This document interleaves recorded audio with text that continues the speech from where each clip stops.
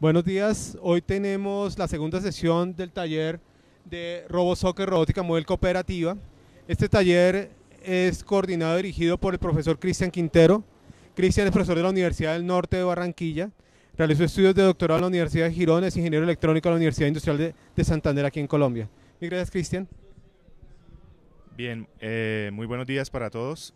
Eh, continuando con el taller que se inició en el día de ayer, eh, voy a hacer una breve eh, introducción a los temas que se mencionaron ayer, un breve resumen para volver al contexto eh, final que tiene que ver con RoboSoccer en lo que corresponde a la parte de cooperación. Entonces, tal y como lo mencionamos en el día de ayer, dentro de lo que corresponde al fútbol robótico, pues existen muchas comunidades. Una es la comunidad que maneja eh, esta asociación donde ustedes pueden encontrar el simulador que manejamos en el día de ayer. Eh, dentro de esas características, eh, o las características que maneja esta asociación es que maneja diferentes tipos de, de robots y con cada tipo de robot maneja una competición con unas normas, con unas reglas específicas. Entonces, como ustedes recordarán, nosotros nos vamos a enfocar o nos enfocamos desde ayer en lo que corresponde a el Mirosot y su versión en simulación, el Simurosot, que pues eh, pueden encontrar en la página web de la asociación. Entonces, en el día de ayer mencionábamos eh, específicamente que antes de entrar a trabajar con un robot de esta naturaleza es necesario conocerlo a fondo. Y precisamente eh, lo que corresponde a este fondo eh, hace alusión a precisamente tener la posibilidad de realizar el modelo de, su comportamiento dinámico en, este caso. Entonces mencionábamos que existían eh, dentro del robot diferentes componentes que hacen que su movimiento no sea ideal y es necesario conocerlo o modelarlo para, para poder después establecer estrategias de control específicas. Entonces, eh, esto es un recorderis de lo que se hizo ayer, eh, caracterizando un poco lo que es esta plataforma. Es una plataforma bastante compleja que implica bastantes eh, áreas de, conocimiento, específicamente en lo que tiene que ver con el control de los robots, la comunicación entre ellos, el procesamiento de la información que se maneja y las estrategias de cooperación que se establece mediante normalmente inteligencia computacional. Entonces, esto, digamos, es eh, lo que mencionábamos de la dinámica o la gran dinámica que tienen estos robots, que es necesario de alguna manera eh, conocer para poder establecer estrategias de cooperación. ¿sí? Entonces, en el día de ayer mencionábamos eh, algunas características de esa, de esa cooperación. Y asimismo mencionamos lo que correspondería al simulador como tal. Entonces, eh, Simurosoft es el simulador específico eh, hecho por una universidad australiana para tratar de establecer estrategias de cooperación a nivel de simulación que puedan ser replicadas eh, dentro de los robots Mirosoft. este simulador es el que se encuentra en la página web y es el que vamos a utilizar o estamos utilizando en el taller. para las personas eh, que ya lo han eh, trabajado, pues recordar simplemente que eh, la idea del simulador en el, en el taller es utilizarlo para manipular el robot, después establecer una estrategia de control y después establecer una estrategia de, de coordinación. Entonces, dentro de lo que corresponde al modelo, pues el modelo que se manejó en el día de ayer es el modelo matemático.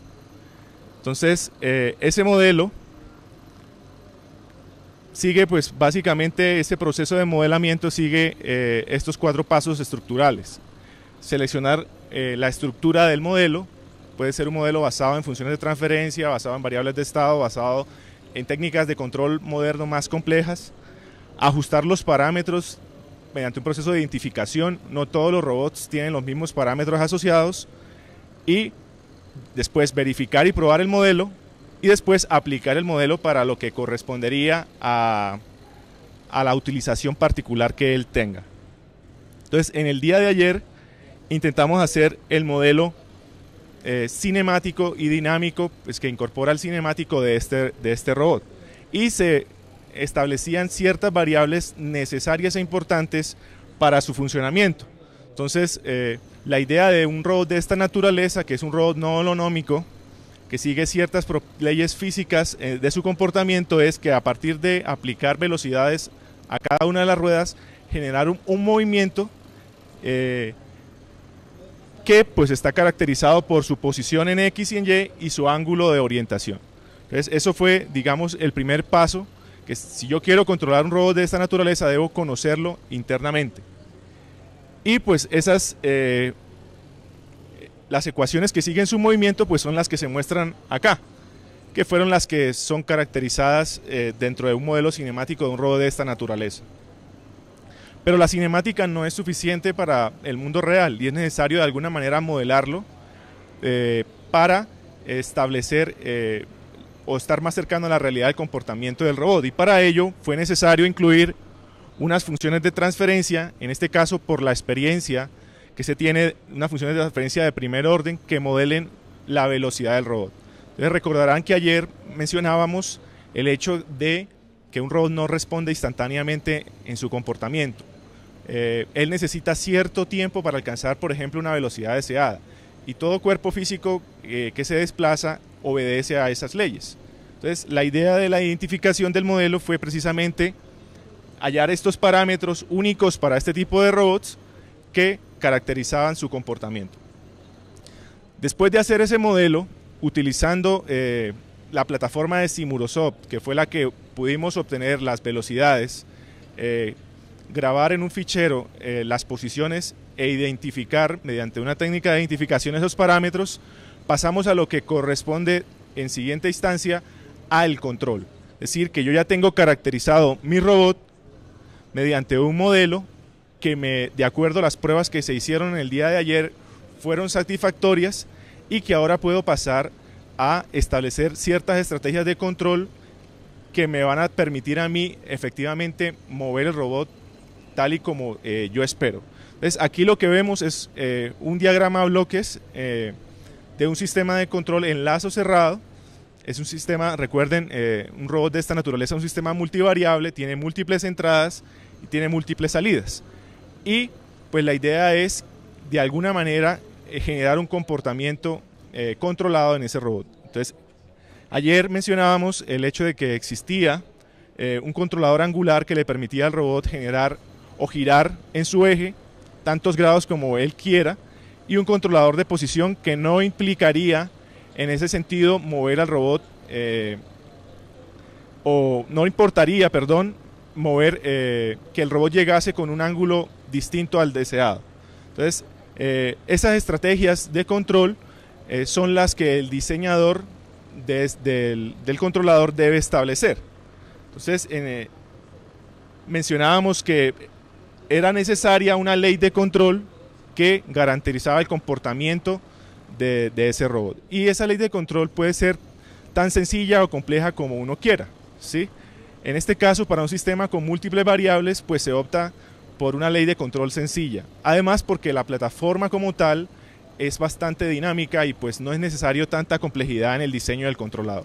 Entonces, eh, en el día de ayer mencionábamos que la idea del que diseña los controladores era establecer esas constantes, ¿sí? establecer cuánto valían esas constantes de proporcionalidad asociadas para cada uno de, los controladores eh, que se tenían. ¿sí? Entonces, este es un controlador de posición en donde yo debo establecer cada una de las constantes asociadas.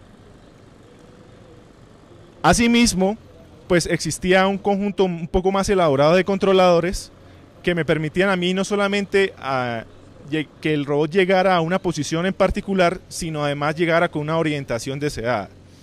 Hay muchas aplicaciones en robótica que eh, se hace necesario que el robot llegue con una orientación específica. Entonces es necesario tener un controlador adecuado para ese fin. Y en el día de ayer mencionábamos que eh, ese controlador es este controlador, el primero. Un controlador sin ninguna restricción, pero que hace que el robot llegue de una posición inicial a final con una orientación deseada. Sin embargo, pueden existir aplicaciones en donde sea necesario que el robot siempre avance a una misma velocidad o sea necesario que el robot cumpla ciertas restricciones temporales. Y era necesario tener otro kit de, controladores en esa naturaleza. Esos controladores también estaban eh, caracterizados por eh, unas constantes de proporcionalidad. Y mencionábamos que en dependencia de esas constantes de proporcionalidad, pues una tarea, cualquiera que ella sea, puede ser ejecutada de diversas formas. ¿sí? ¿Cuál es la mejor forma? Pues va a depender de la aplicación que se tenga. Entonces, en este gráfico se muestran tres diseños de tres controladores distintos en donde obedecen la misma ley de control, pero que tienen diferentes constantes de proporcionalidad. Eso hace que cada robot tenga ciertas características. Y mencionábamos, por ejemplo, que el robot con el controlador número 2, pues es un controlador mucho más rápido, pero que en lo que corresponde a la orientación del robot, al final, pues es un poco más impreciso. Caso contrario, el controlador número 3, en donde es un poco más preciso al final, pero eh, se demora mucho más tiempo y tiene eh, en ese sentido, pues en dependencia de la aplicación, ciertas restricciones. Y hay un punto intermedio que es el controlador eh, C1, que es un poco más preciso que C2, pero no es tan rápido como C2. Entonces, va en dependencia del diseñador de esos controladores para qué va a utilizar cada uno de ellos. Por ejemplo, el controlador número 3, ayer mencionaba que era un controlador que se demora más, pero que el esfuerzo de control que implica es inferior. Entonces, en términos energéticos, pues es más, más deseable. También veíamos que eh, en este caso un ejemplo de, de, esos movimientos eran ejemplos sencillos del movimiento de esos robots dentro de la plataforma, en donde se pone que se evidencia lo que la gráfica anterior mostraba, ¿sí? el movimiento de, de los robots como tal. Entonces, eh, una vez diseñados esos controladores, eh, pasábamos a ver lo que correspondería a otro control. Cada uno tiene ciertas leyes de control, que es lo que se establece aquí, que eh, las personas interesadas en seguir paso a paso el procedimiento lo pueden encontrar en el material que está en la página web del campus. ¿sí? Esto digamos que fue lo que hemos mencionado en el día de ayer. cada uno de estos controladores tiene un desafío que es establecer cuáles serían las constantes más idóneas. Si ustedes observan, todos tienen constantes de proporcionalidad. Hacer controladores más elaborados implica una mayor complejidad en la ley de control y normalmente para estos sistemas multivariables pues se trata de evitar. No quiere decir que no sea que sea que no se pueda hacer, ¿de acuerdo? Bien. En el día de hoy, una vez hecho el proceso de modelamiento del robot, una vez hecho el proceso que corresponde al control, a la selección del controlador más adecuado para cada uno de ellos, es necesario establecer estrategias de coordinación.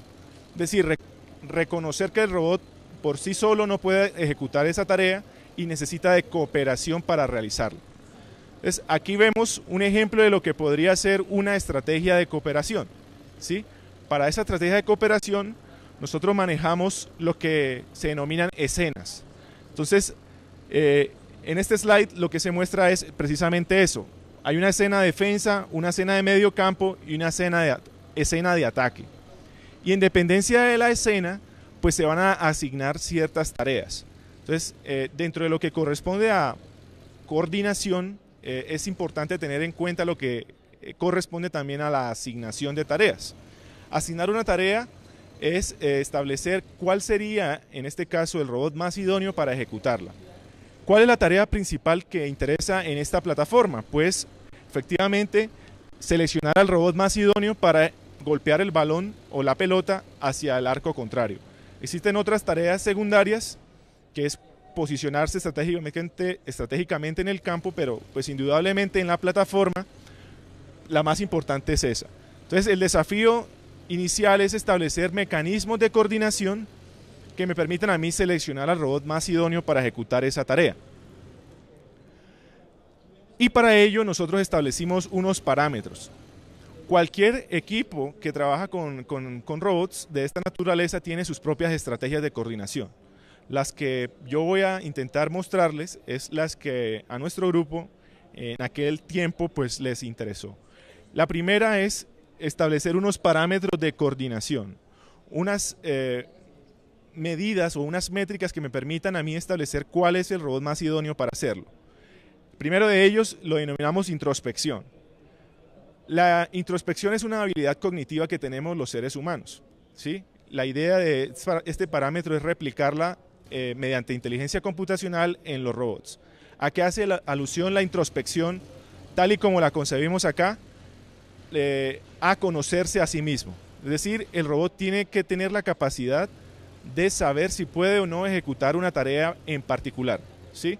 Y si le logramos imprimir ese conocimiento de su cuerpo al robot, pues puede tomar decisiones físicamente realizables. Entonces, este principio es el que maneja la introspección como tal. Tener la capacidad que de alguna manera y de acuerdo a los controladores que tiene el robot, eh, establecer cuáles serían los robots más idóneos para ejecutar una tarea. Entonces, en este caso, cada uno de los robots se está preguntando si es capaz o no de realizar dicha tarea. Y en dependencia de ese conocimiento que tiene él de su cuerpo, tener la posibilidad de hacerlo. Ayer mencionábamos eh, el hecho de que eh, si a nosotros nos preguntáramos si podemos ejecutar una tarea, nosotros que nos conocemos, eh, en la mayoría del tiempo podemos decir si sí o no las podemos hacer. ¿sí? y lo podemos hacer con un grado de certeza asociado. Cuando nos preguntan, por ejemplo, si podemos ir al fondo de, la arena en determinado tiempo, en dos segundos, por ejemplo, podemos decir ya inmediatamente que no, que no podemos hacerlo. Cuando nuestro trabajo nos preguntan, por ejemplo, si para mañana podemos entregar un informe, podemos dar un grado de certeza asociado a ese parámetro. Entonces la idea de la introspección es precisamente eso. ¿Cómo se hace? o cómo se hizo en, este ejemplo, se hizo mediante redes neuronales. ¿sí? Entonces, la idea de las redes neuronales es que de acuerdo a ciertas características del dominio, en este caso el dominio es el escenario donde está el robot, tener la posibilidad de eh, estudiar las capacidades del robot, la situación del entorno y poder decidir cuál es el robot más idóneo para hacerlo. Entonces, en ese aspecto, en tareas coordinadas como la que se muestra a continuación, pues se gana mucho al implementar eh, ese tipo de características. Entonces, el pase es una de las tareas coordinadas pues un poco más complejas que, existe y pues la idea de, esto es tener la posibilidad de que cada vez que el robot chutador, en este caso el que quien recibe la bola, eh, la golpea, él tiene eh, una alta certeza de que la tarea la va a ejecutar correctamente. Entonces, ¿esto qué implica? Lo que implica es que tareas que no se puedan realizar, pues simplemente no se, no se tienen en cuenta. ¿sí? Entonces, esta tarea coordinada es una tarea eh, que se ejecuta con un grado de rendimiento mucho mayor cuando el robot tiene conocimiento de sus capacidades que cuando no lo tiene. ¿sí? Entonces, en, el video lo que se muestra son tareas exitosas en, en ese aspecto.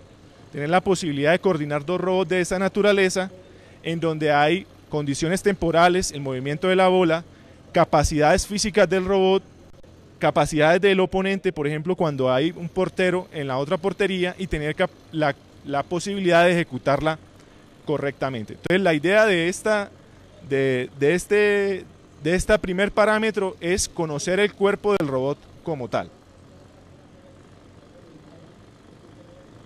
El siguiente parámetro que se utilizó fue lo que corresponde a la proximidad. Muchas de las tareas que ejecutan los robots, sobre todo en sistemas eh, cooperativos, están directamente asociadas a la cercanía que tiene el robot a la tarea como tal. Entonces es un parámetro eh, casi, eh, digamos que necesario, pero no es suficiente. Es decir, no es porque el robot esté más cerca de la tarea, quiere decir que la tarea se puede ejecutar correctamente por él. Un ejemplo de eso sucede en asignaciones de tareas en sistemas más complejos. Por ejemplo, asignar una carrera de taxi o asignar una ambulancia a una zona específica eh, georreferenciada eh, no necesariamente implica que la ambulancia más cercana pueda atender al herido o eh, el taxi más cercano puede atender al, a la carrera solicitada.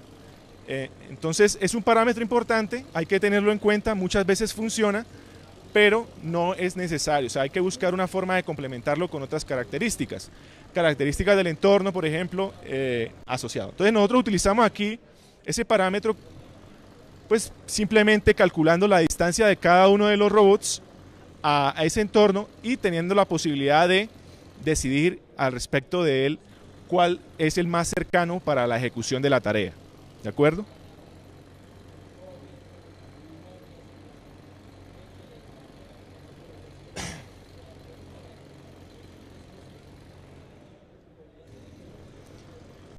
El siguiente parámetro que encontramos bastante útil es el que corresponde a la confianza.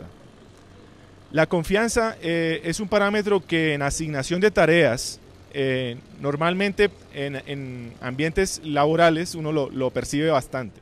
Es decir, que uno tiene más confianza en ciertas personas que en otras para ejecutar determinadas tareas. Un director, un jefe, tiene cierta más confianza en unas personas que en otras. Entonces, inspirado en ese modelo, pues intentamos realizar eh, o utilizar ese parámetro de confianza para establecer cuál sería el robot que el equipo como tal confía más para ejecutar una tarea. Eh, en particular en el caso del fútbol robótico sucede mucho eh,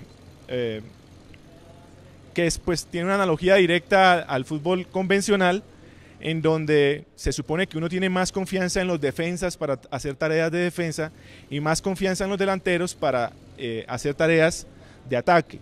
Entonces la idea es un poco también inspirada en eso.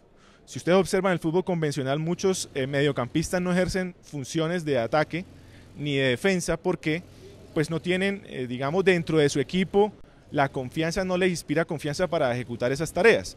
Aquí un poco es lo mismo. ¿Cómo se hace eh, eh, ese proceso acá? Mediante lo que son premios y recompensas. ¿sí? Es decir, que cuando un robot ejecuta una tarea correctamente, nosotros incrementamos la confianza que tenemos en él al respecto de esas tareas particulares, pero cuando el robot se ejecuta la tarea incorrectamente, pues lo que tenemos es la posibilidad de penalizarlo, restándole ese trust, esa confianza que se tiene en él para esa tarea. Entonces, en este caso particular, en este escenario como tal, lo que utilizamos fue precisamente eso, premios y castigos para cuando un robot en una escena particular tiene una determinada eh, o un determinado comportamiento. Entonces, para cada una de las escenas se establecieron ciertas confianzas. Entonces, un robot puede desarrollar en ese aspecto una especialización. Puedes tener un grado alto de confianza eh, en escenas de ataque, pero muy baja confianza en escenas eh, de defensa, que es un poco lo que este parámetro aporta. Entonces, si ustedes observan aquí, pues la idea en ese escenario es integrar esos tres parámetros para lo que en robótica se conoce como una función de utilidad. Eh, las funciones de utilidad me permiten a mí saber cuál es el robot más idóneo para ejecutar una tarea, cuánto le cuesta a cada robot ejecutar esa tarea. Y pues hemos combinado esos tres parámetros, uno asociado eh, a lo que corresponde a la introspección, al conocimiento del cuerpo, a su conocimiento individual, uno asociado al entorno, que es lo que corresponde a la proximidad, y el otro asociado al, a los compañeros, a los que lo que los demás piensan de mí, que corresponde a la confianza. Entonces, con esos tres parámetros establecemos para cada uno de los robots esa función de utilidad. Pero es necesario, pues aquí están los tres parámetros, introspección, proximidad y trust, unas banderas umbrales de decisión. Decir, ¿quién me dice a mí qué tan bueno es el robot? ¿Sí? Porque esto al final es un número.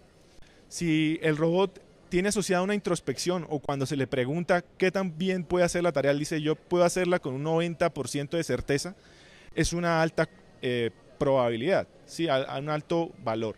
Entonces necesito unos, unas banderas umbral que me permitan a mí establecer cuándo es bien eso. Si yo confío en una persona, o en, en este caso en, en un robot, en un 70%, ¿eso será bueno o será malo? Si la proximidad eh, si el robot está muy cerca, pues esta, ese parámetro de proximidad debe ser muy alto. Entonces, eso me permite hacer eso. Y el sistema de decisión que se, tiene, pues también tiene unas banderas de activación. ¿Qué quiere decir eso? Que en eventuales casos yo puedo utilizar un parámetro o puedo desecharlo para tomar una decisión. Entonces, el algoritmo de decisión, eh, para finalizar, digamos, eh, es más o menos el siguiente. Recuerden que la idea es tener un, parámetro que me permita a mí saber si un robot puede ejecutar o no la tarea y además seleccionar al robot más idóneo para hacerlo. Entonces, en primera instancia, esa función de utilidad eh, en un primer nivel de decisión es la que se muestra aquí. ¿sí? Yo establezco para cada uno de los robots, que son los agentes encargados de ejecutar la tarea, esa función de utilidad. Pero ¿qué pasa? Que pueden haber robots que esa función de utilidad sea muy similar. Entonces se empiezan a generar conflictos en la decisión. Que un robot pueda hacer eh, la tarea con un 93% de certeza y un robot la pueda hacer con un 91% de certeza, pues no es un indicativo muy fiable de cuál sería el más idóneo, ¿sí? Porque pues hay errores asociados al cálculo y, pues no hay una diferencia muy drástica, eh, diferente a que si un robot puede hacerlo con un 90% de certeza y un robot y el resto de robots lo pueden hacer con un 10 o un 20% de certeza. Entonces, en los casos en los cuales eh, hay conflictos en la decisión, pues se opta por un segundo nivel de decisión que es el que corresponde a eh, no utilizar los umbrales de decisión. ¿sí? ¿Eso qué permite? Pues establecer en términos el cálculo bruto de cada uno de los parámetros. Sin embargo, cuando hay más de un robot puede pasar de nuevo que más de un robot puede tener ese parámetro muy igual. Y es necesario pasar a un nivel de decisión 3 para discernir esos conflictos. Aquí hace alusión a conocimiento previo. Si ustedes observaron los controladores que se diseñaron, uno puede identificar rápidamente cosas como hay un robot más rápido, hay uno más lento, hay uno más preciso. Entonces, cuando todo el sistema de decisión no funciona, uno puede acudir a esos conocimientos mínimo sobre cada uno de los robots. Si yo sé que un robot es rápido y la tarea que se está proponiendo necesita rapidez, pues ya puedo por una tabla establecer que ese robot es el que la, debe ejecutar. Ahora, no siempre eso es lo más idóneo de hacer, pero es una forma de resolver conflictos de decisión que se pueden presentar en el entorno. Entonces, aquí se muestra, digamos, la implementación de, cada uno de esos planteamientos. Obviamente dado que la plataforma es eh, muy, muy dinámica, pues es difícil de observar eh, en ese caso. Eh, lo que hemos tratado de mostrar, por ejemplo, en el caso de simulación, es que recuerden que hay un robot que selecciona, se selecciona, el robot abandonó la tarea en este caso porque no tenía la confianza suficiente y vino otro robot a ejecutarla. ¿Sí? Entonces, esas cosas pueden pasar. Puede pasar que eh, los parámetros de decisión cambien la situación porque en este caso cambió la escena, el robot tenía una buena, buena confianza, vino un robot que tenía más confianza para ejecutar esta tarea y la ejecutó. ¿Sí? Es un caso bastante drástico, eh, pero, pero puede suceder. Entonces la idea es que las personas que trabajan en cooperación, las personas que trabajan en, coordinación, pues diseñen sus propios algoritmos y pues en esta plataforma compitan con otros algoritmos más elaborados, eh, eh, o no más elaborados, sino diferentes a los que ellos han utilizado. Entonces, la idea eh, ahora es mostrarles un poco cómo eso se, implementó en, en, la plataforma.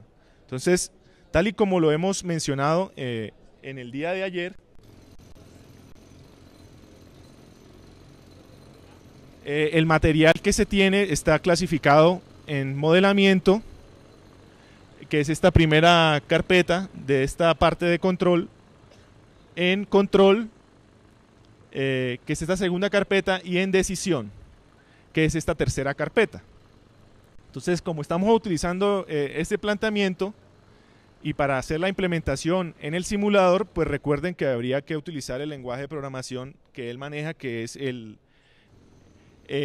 Visual C eh, más más.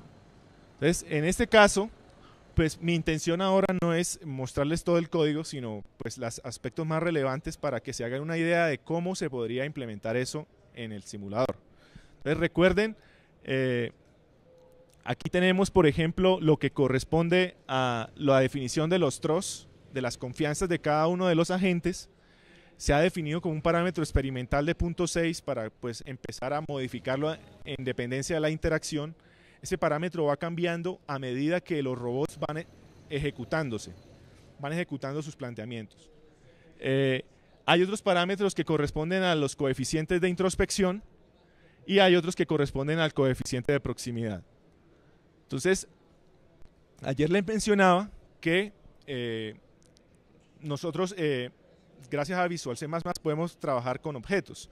Y pues hemos definido una clase que se llama controlador, que tiene todos los controladores disponibles que, tienen, eh, que hemos mostrado en el taller.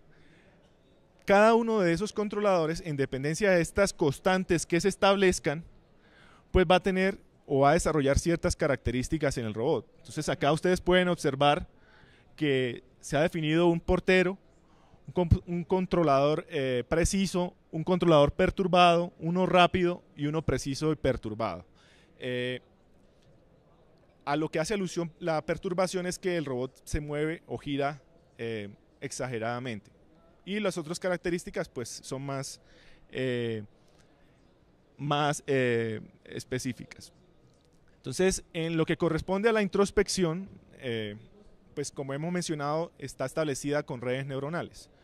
Eh, las personas que han trabajado con redes neuronales, pues sabrán que hay que establecer un proceso de entrenamiento previo a la red que establece un conjunto de pesos que hace que eh, la topología de la red utilizada pues funcione para lo que nosotros queremos. Entonces, en ese caso, estas serían esos pesos para esas redes que se definieron, ¿sí? Para cada uno de los robots. Inmediatamente después de eso, pues lo que necesitamos establecer es una táctica eh, que obviamente para este escenario la establece la bola. ¿Dónde está la bola? Pues me establece si estoy en defensa, si estoy en ataque, si estoy eh, en el medio campo. Y la idea después de eso es realizar la configuración del sistema. Entonces, habíamos hablado de tres parámetros, proximidad, introspección y eh. Y como yo los puedo activar o desactivar, pues aquí está la forma de hacerlo. Entonces, si yo, en este caso están activados los tres. Quiere decir que las decisiones que yo tome se van a tomar teniendo en cuenta esos tres parámetros. Aquí están los límites de las banderas de activación. Quiere decir, por ejemplo, que para el caso de la introspección, tareas con un 65% de certeza son tareas que pueden ser efectivamente ejecutadas correctamente. Después de eso, eh, vienen algunos cálculos específicos de las distancias de cada uno de los robots a la bola eh, para poder calcular el coeficiente de proximidad. Aquí viene la implementación del coeficiente de eh, introspección basado en redes neuronales y después viene lo correspondiente al TROS. Como les he mencionado, cada TROS o cada nivel de confianza es diferente en dependencia de dónde esté la escena. Después de eso, lo que viene es el algoritmo de selección. Entonces, esto es eh, la función de utilidad que se ha utilizado. Si ustedes observan es muy parecida a la fórmula matemática que, está, que estaba establecida ahí. La intención mía pues es mostrarles cómo se, sería eso en el código. ¿sí? Entonces aquí está especificada esa función. Pero tal y como les he mencionado, pues pueden haber casos en donde más de un robot eh, dé una función de utilidad similar. Entonces para eso hay que hacer estas comparaciones Después, evidentemente, mirar si se resolvió el problema y si no se ha resuelto, calcular eh, el proceso con cálculos brutos, es decir, no teniendo en cuenta banderas específicas. Si no se resuelve eso, pues hay que calcularlo de alguna manera por tabla. Es decir, voy a seleccionar el robot más rápido, después el robot más preciso, después el robot más eh, laborado. Y después, una vez seleccionado eso, y ya sé cuál es el robot más eh, idóneo, veo a ver qué tan bien hizo la tarea. ¿Por qué es importante hacer eso? Porque después voy a tener la posibilidad de ejecutar una estrategia. Si ustedes observan aquí, yo le asigno a cada robot una, una tarea a hacer y una posición del campo para realizarla. Y después se observa aquí que si efectivamente esa tarea se realizó adecuadamente, lo premio o lo penalizo. Entonces aquí está lo que corresponde al, al TROS para este robot en donde eh, las, los premios están un poco más bajos que las penalizaciones en el sentido de que pues sea importante también discernir cuál es el robot que está haciendo mejor las tareas y cuál no.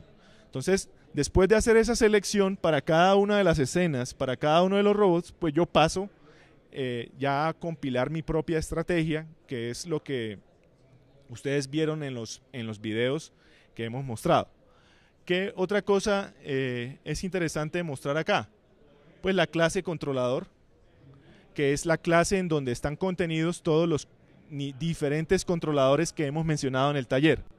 Entonces, adicionalmente, eh, dado este entorno, pues se pueden especificar otras cosas como controladores más idóneos para chutar el balón o la pelota, controladores más idóneos para rechazar esa, esa pelota. Entonces, por eso es que ustedes observan acá que complementando la ley de control, pues hay un conjunto de reglas que me permiten a mí saber si el robot está eh, ejecutando bien, por ejemplo, una, una tarea como tapar eh, o evitar que, el contrario le eh, dispare al, campo, al campo nuestro. Y aquí están los controladores pues, que hemos mencionado en el día de, de ayer, por ejemplo, el controlador de posición. Eh, ya nosotros hemos establecido las constantes, cuánto deben valer, siguiendo los procedimientos que mencionamos en el día de ayer para poder establecer efectivamente si el robot ha realizado las cosas correctamente. Aquí están los controladores, eh, el de posición, que es el, el, el final. Entonces, y pues obviamente cómo se implementa una red neuronal, pues esto sería una representación o un ejemplo. Eh, eso va a depender del número de capas que tenga la red, del número de neuronas que tenga. Eh, este proceso de, redes neuronales, de entrenamiento de la red, se hace también, pues nosotros lo hicimos con el modelo, es decir, lo hicimos desde MATLAB eh, para poder establecer esas redes. Lo más ideal o lo más idóneo sería tener la posibilidad de hacer el entrenamiento de la red directamente en los robots reales. Pero obviamente eso implica más esfuerzo eh, para, para, realizarlo. Entonces optamos por la parte de simulación, vimos que los resultados son más o menos adecuados y lo implementamos en, en el sistema como tal. Entonces no sé si tengan alguna duda en, específico de, de, de esto.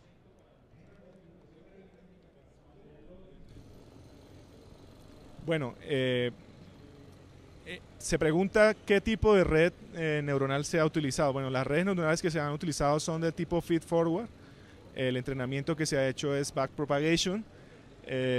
son redes muy idóneas para este tipo de aplicaciones. Tratan de modelar las no linealidades que hay en, el, en, ese, en esa introspección que se está realizando. ¿sí? tener la posibilidad de medir la capacidad que tiene un robot para realizar una tarea o no, implica muchas cosas a tener en cuenta. El cuerpo del robot, consideraciones temporales de la tarea, inclusive en este caso de la propia bola, de cómo la bola gira eh, eh, y cómo se mueve. Entonces, incluir todo eso en una caja negra se puede modelar mediante este tipo de redes neuronales. Ahora, cada red neuronal se estableció para un robot en particular porque cada robot tiene sus características propias, ¿sí? En este entorno en donde los robots son muy parecidos, pues puede ser que puedan servir las mismas redes. En entornos donde hay heterogeneidad mucho más marcada, pues puede ser diferente el asunto. No sé si tengan alguna otra pregunta.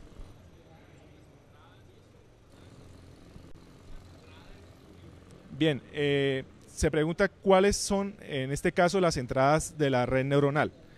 Eh, en el caso particular de, esta aplicación, se, ha hecho un entrenamiento previo eh, utilizando, en este caso, la distancia del robot a la bola eh, y como eso va a depender y el tiempo que tarda en llegar a esa bola.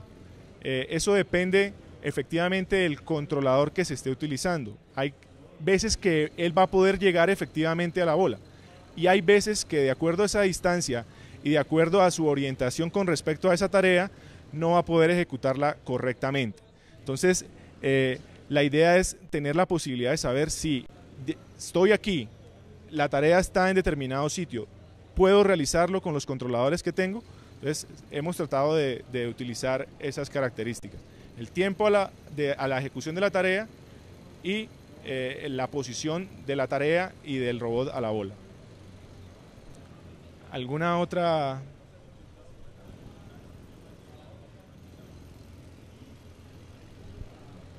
En, este, en, esta aplicación como tal no se, no se ha hecho eh, eso. Digamos que el objetivo primordial aquí no era, eh, era mostrar la aplicación conjunta en la decisión de esos tres parámetros.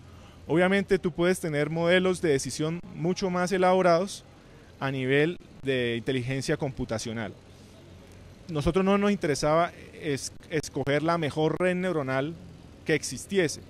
Nosotros nos, interesaba mostrar que era posible eh, hacer un proceso de introspección, de que el robot sea capaz de decidir cuándo es capaz o no de realizar una tarea mediante esa técnica. Es un poco la idea. Eh, ¿Alguna otra pregunta? Entonces, eh, me gustaría, si es posible, finalmente cerrar este taller saliéndome un poco de, lo que es el RoboSoccer. Vamos a ver si se puede mostrar una aplicación distinta utilizando para eso MATLAB. La inspiración que, se ha tenido al utilizar esta plataforma es precisamente desarrollar mecanismos de coordinación en, robótica que permitan ser extrapolados a otras aplicaciones. ¿sí? Entonces, eh, no solamente las personas que trabajan en Robot Soccer buscan jugar eh, o de alguna manera eh, utilizar esas estrategias, sino aprender y coger experiencias para poder aplicarla en otros dominios. Eh, una primera experiencia producto de eso eh, es lo que tiene que ver con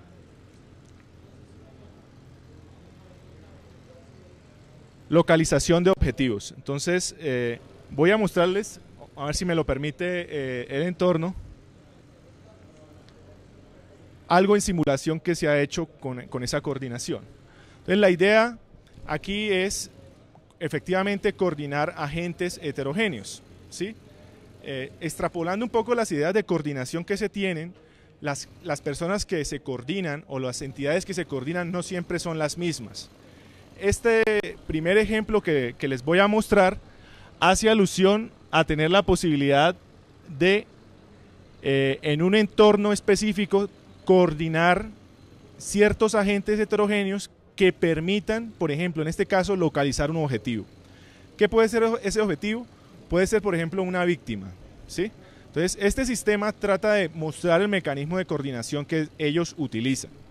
Entonces, para ello, voy a seleccionar, por ejemplo, que, ese que, esa, que esa víctima se ubique en algún punto, en este caso cualquiera que sea aleatorio, y que sea desconocido para los agentes que voy a instalar. Vamos a ubicarlo, por ejemplo, acá. Y puedo instalar diferentes agentes. Esos agentes pueden ser, por ejemplo, un agente aéreo. Entonces, los agentes aéreos tienen, en este caso, capacidades de sensado limitadas. El siguiente agente puede ser, por ejemplo, un agente terrestre Vamos a ubicarlo por acá. Y el siguiente agente puede ser, por ejemplo, un agente acuático. Entonces cada uno de ellos tienen unas características de sensado diferentes. Lo que puede ver el avión no lo puede ver el vehículo, lo que puede ver el vehículo muchas veces no lo puede ver el avión. La idea es coordinar todos estos escenarios. el mecanismo de coordinación es basado también en redes neuronales.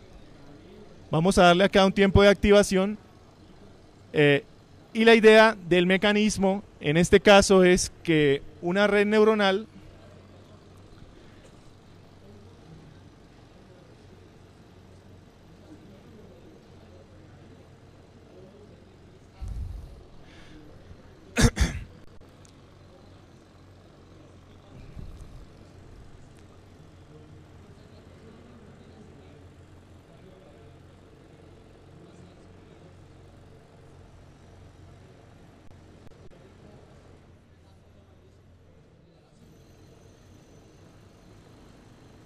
Voy a reiniciar el sistema porque como siempre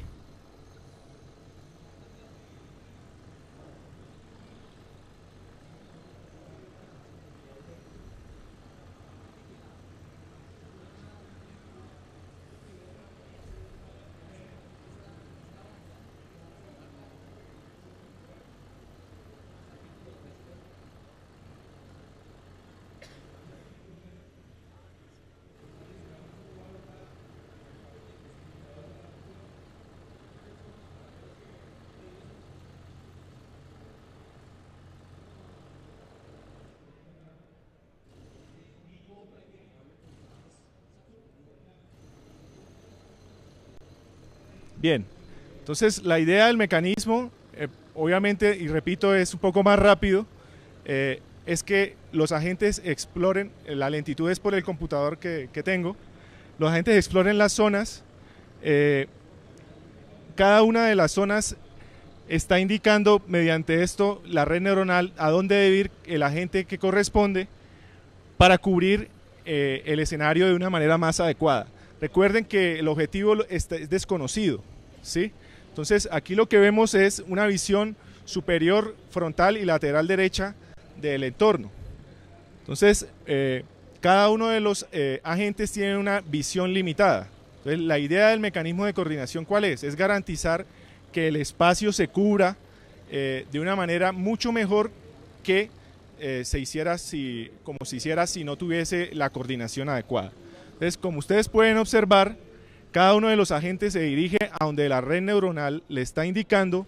Una vez llega a esa celda en particular, hace un barrido con el sensor que tiene y se procede a seguir a la siguiente eh, a la siguiente nivel de decisión.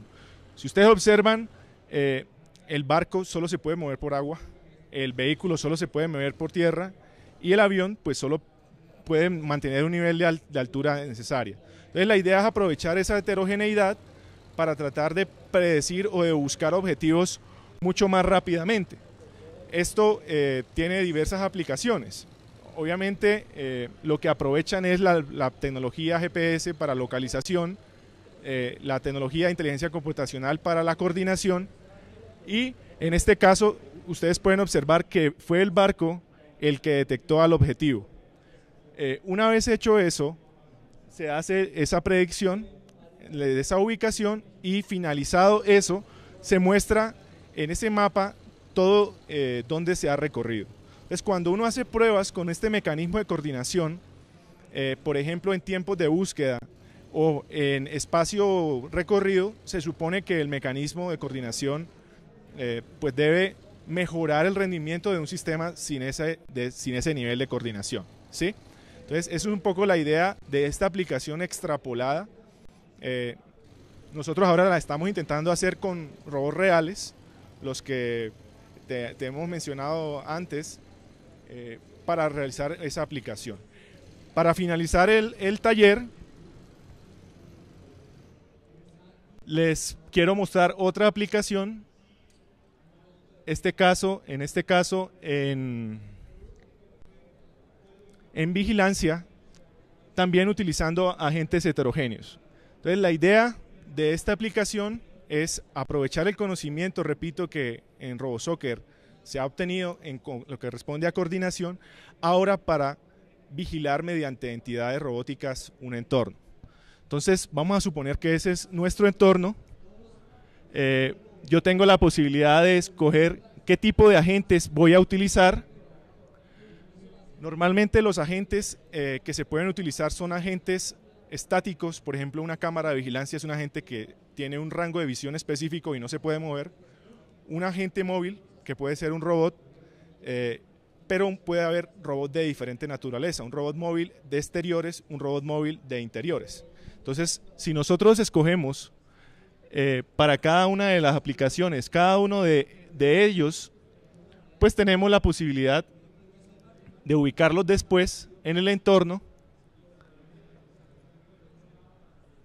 y eh, otra vez mediante la experiencia en redes neuronales pues tener la posibilidad de seguir lo más, el tiempo mayor posible un intruso.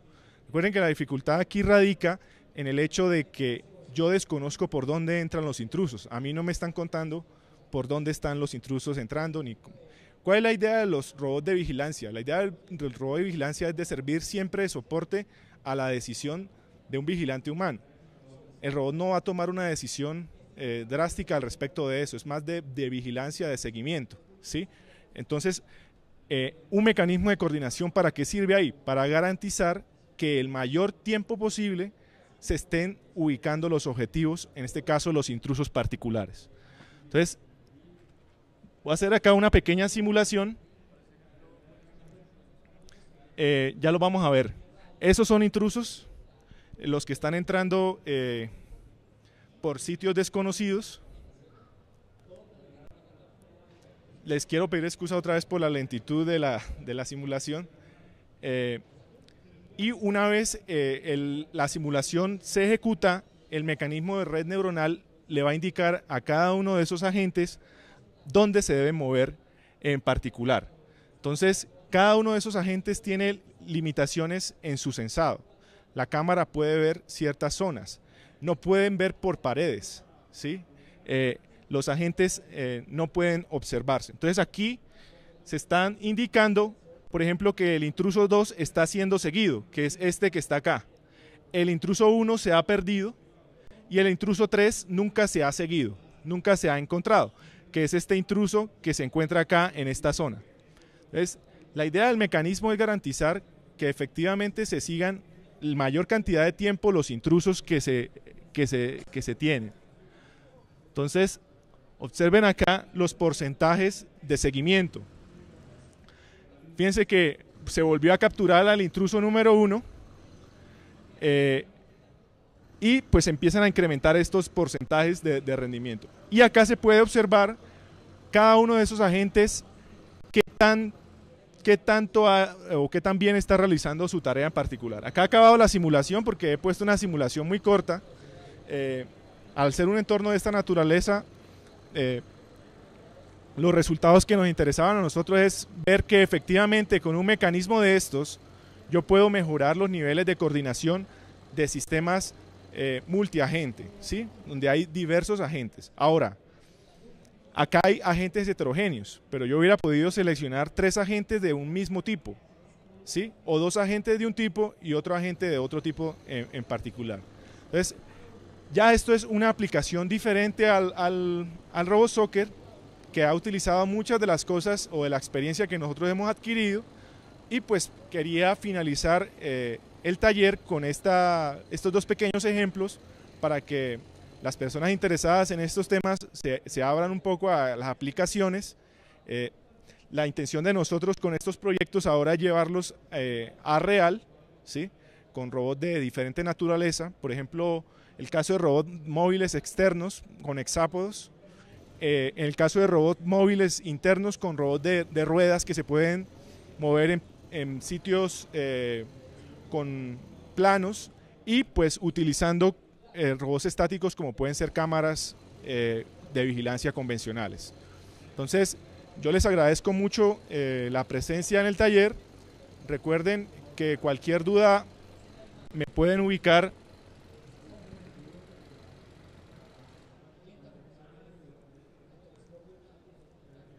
en este correo, eh, este es el correo institucional, cualquier duda, eh, pues estaré encantado de, de resolvérsela y no sé si tengan alguna pregunta final al respecto.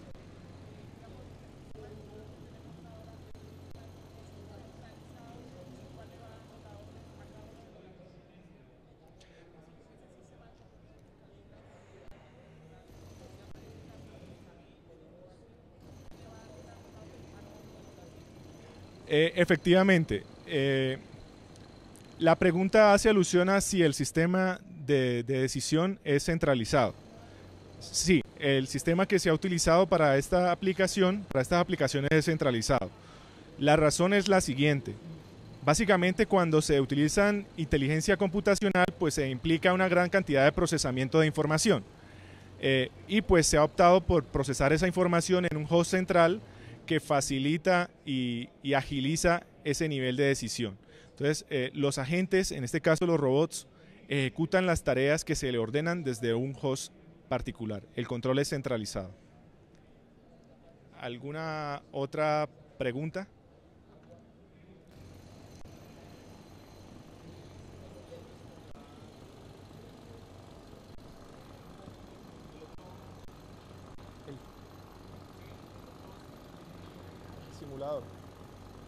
Bien, recuerden que el simulador de fútbol robótico se puede ubicar en www.fira.net. Es una página eh, que tiene muchas cosas. Vayan a la sección RoboSoccer. En la sección RoboSoccer ubiquen Simurosot y en Simurosot pueden bajar eh, el programa del simulador como tal. ¿De acuerdo?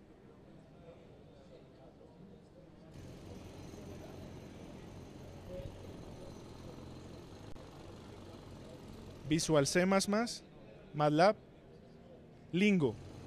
Eh, bueno, Lingo es de Macromedia, entonces no sé si sea la distribución libre de, del programa. Ahora, si tú programas, eh, en el ejemplo que hay, es un TXT. ¿sí? Entonces, ese TXT es ejecutable y funciona. Ese es el que funciona. O sea, es el TXT que está ahí específico. Otras aplicaciones de Lingo, pues no las, no las conocería. ¿sí?